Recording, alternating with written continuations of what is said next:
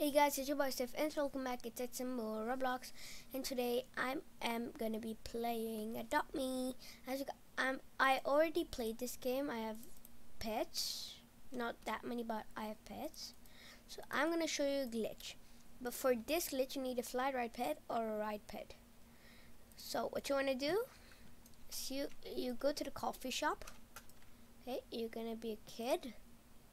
Switch a baby and then um, you go here behind the archer. You be a parent. You want to switch to a parent? Okay. Okay. Um you put out a stroller. Okay I have my stroller out. Yes. Now I also take my uh, rider fly pet out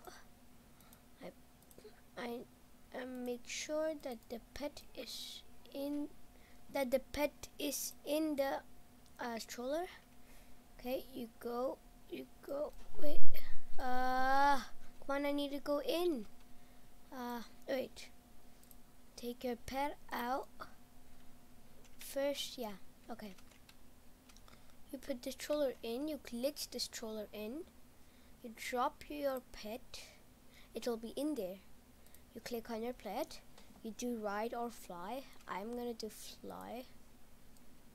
And look you guys can see this newbie behind over here. What is this guy what is this bro over, doing over here? Look look at him. He's just behind the archer but we can't see him because this is actually blocked. But for him it isn't. That doesn't actually make any sense but it is what it is. Okay I'm gonna reset. And I'm gonna end the video